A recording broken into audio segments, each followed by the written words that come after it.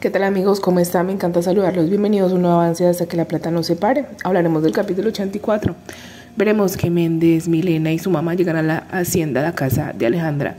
Lo primero que hace la mamá de Méndez es preguntarle a Alejandra si la señorita Clemencia es su mamá. Esta le dice que no, que es su tía. Jaime le pregunta a ese señor qué fue lo que le dijo Nichols para que renunciara a lo de Valenzuela. Este dijo que no lo ha visitado ningún Nichols. También veremos que Rafael Méndez va a renunciar. Su jefe no quiere darle la renuncia.